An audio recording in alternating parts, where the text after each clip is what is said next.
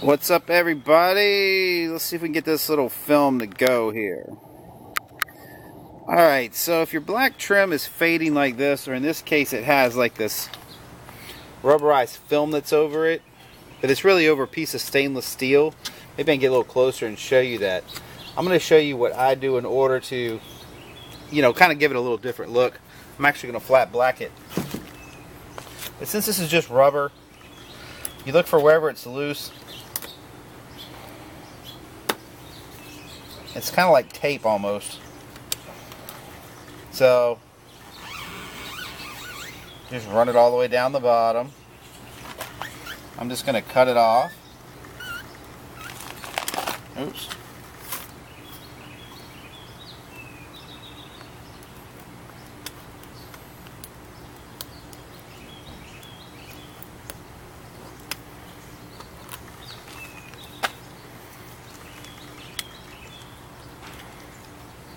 All right, here we go. Now,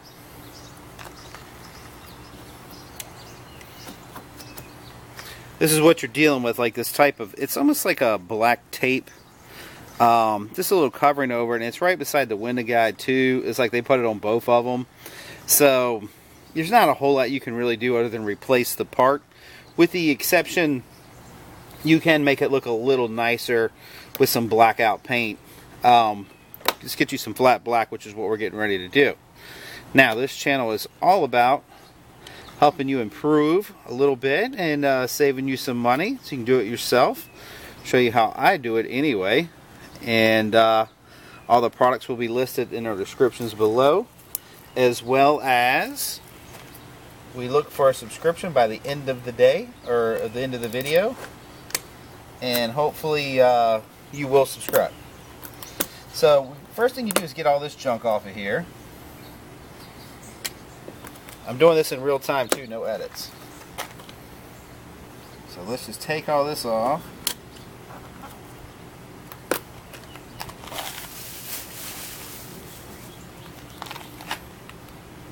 Alright, here we go.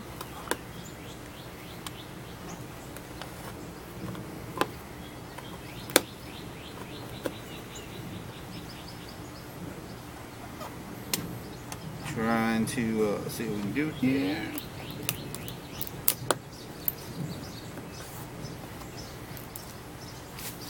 Okay, she seems pretty secure now, so let's take a look at it.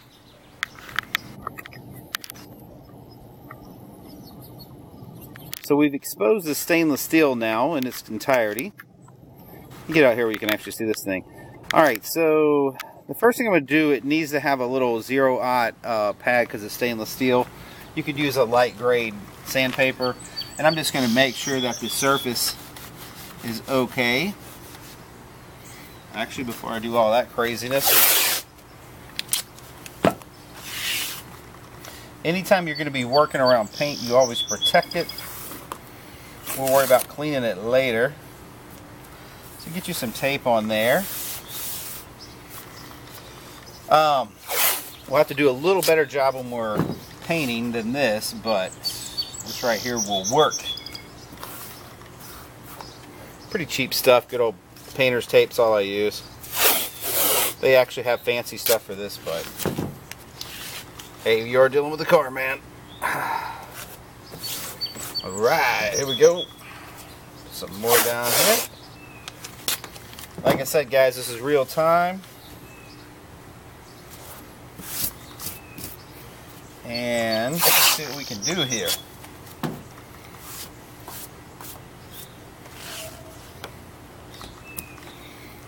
Unfortunately, everything doesn't go perfect the first go around. This is actually a pretty simple project. You can make your time up. I mean, you'll make your money up when you're selling the car if you do a few things like this because it actually builds a little bit of value. Like this is definitely an eyesore. So the average person's not going to be into looking at this. Even though it's superficial, it's still cosmetic. Alright, so we're going to jump in with a zero aught. We're just going to make sure the stainless steel is nice and clean.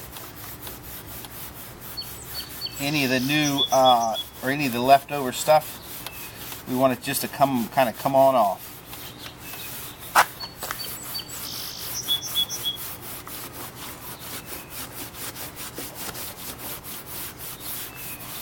Alright, that's a pretty decent little prep. I feel confident that the paint is going to stick to that.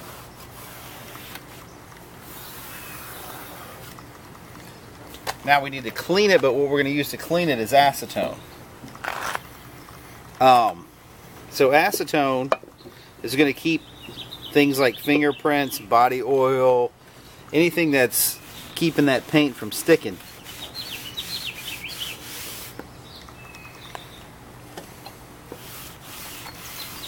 Just like that. Okay. Now we've prepped the surface.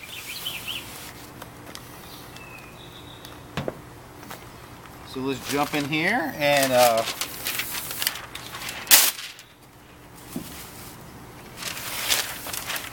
see what we can do as far as uh, protecting from some overspray.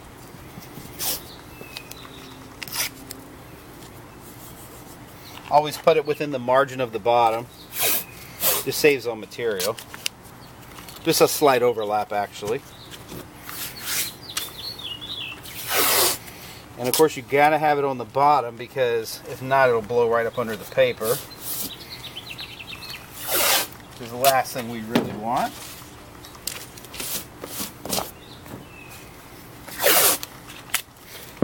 There you go. I've got another side to do too. Um, I see just a little bit of glass showing right here. Let me go ahead and lap that down. You're not really going to be able to make a distinguishable difference for the flat black because it kind of dulls out. But uh, you don't want it on any glass because it just makes it harder to take care of. And of course we're going to have some for the bottom.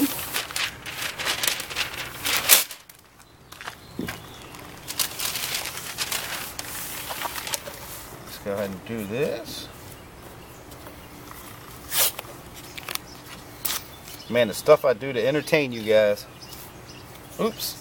Right there won't work. And technically where I just got that fingerprint at, that could fisheye because my hand touched it.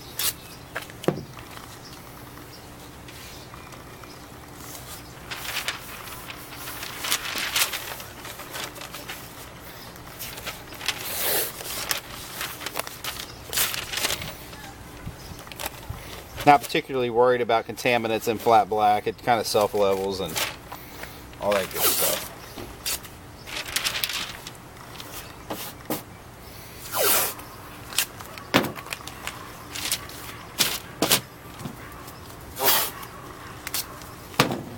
Okay, cool, cool. We just want to keep it from blowing around.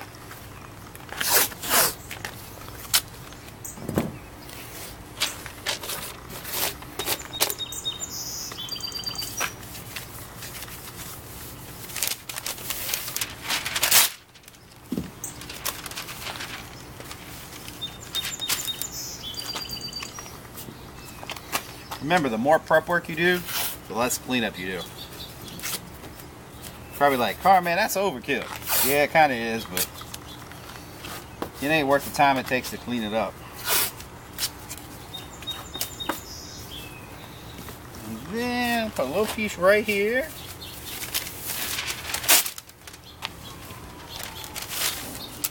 Say about like that. Now don't let me forget to put that uh, acetone where I just touched it with my hands or this might be a big pain in the butt.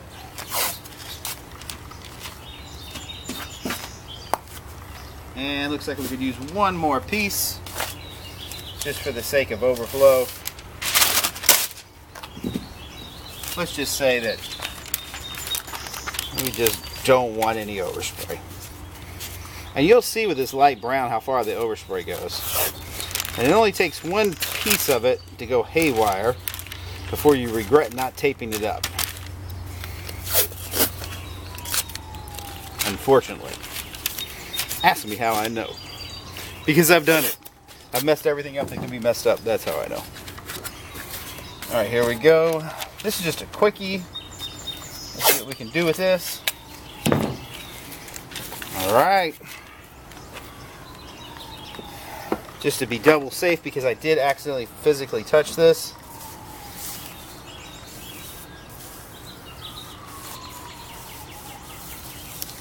By the way, acetone is a great way to remove spray paints that don't have hardeners in them. So this right here is a spray paint without a hardener. And most of them you get over the counter will be. Okay, let me get me a respirator.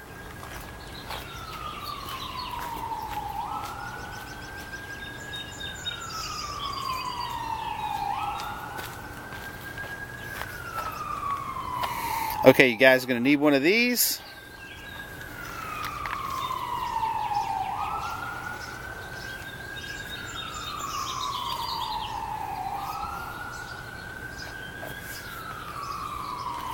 And away I go. Always get a nice good shake and do a little test pattern.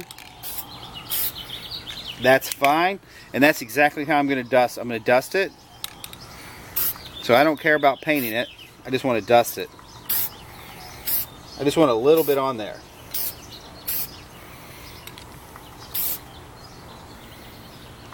And that's it. Let it dry. Come back over here.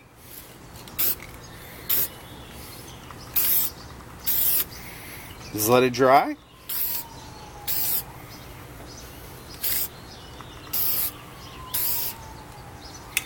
You see like the paint, and see how the paint like starts getting at different places? You don't even realize it's going to get there.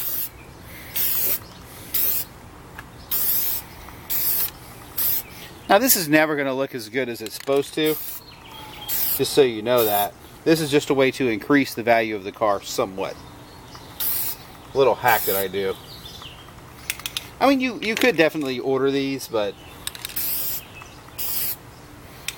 I say why bother? Car's too old for anybody to care. You just do that, and then uh, you you're going to see it starting to dry to a dull color, which I'm sure you're starting to see right now.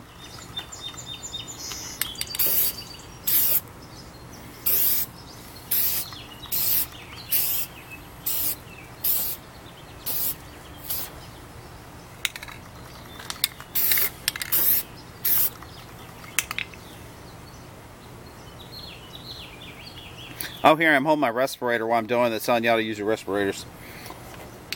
Oh, but you need to.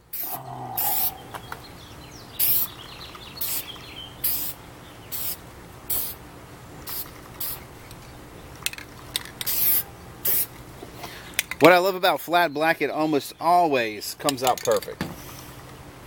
So we are done with this little project. It should be dry in just a second. I'm not putting any more coats on it. So let's take a look at the damage.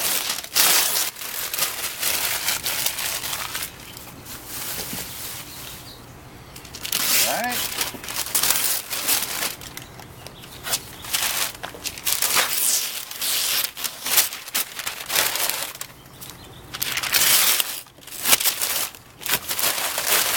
Getting kind of the first look here.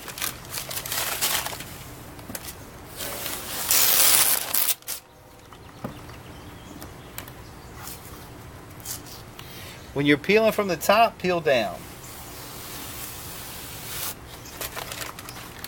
Just in case.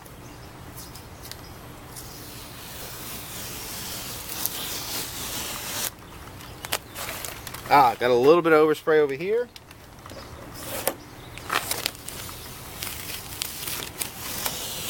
And of course, in the top, you peel upwards.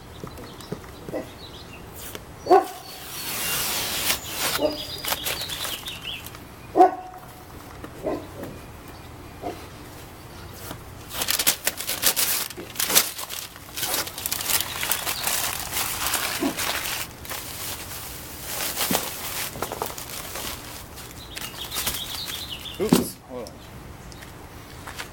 Alright guys, let's take a look at what we got here through the screen. And that's it. So in real time, it took 14 minutes and 58 seconds. That's from the beginning of conception until its end. And that's all I did.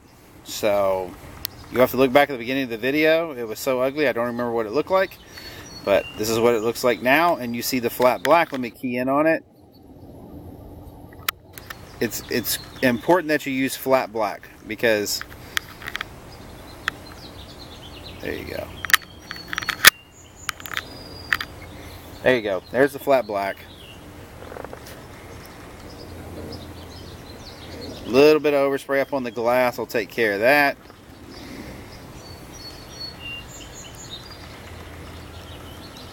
And remember I told you you never know what you do, so there you go, there's some right there. Nothing but love from the car man, preaching the gospel from the RV. Hey, I will see you on the next video. Nothing but love, see ya.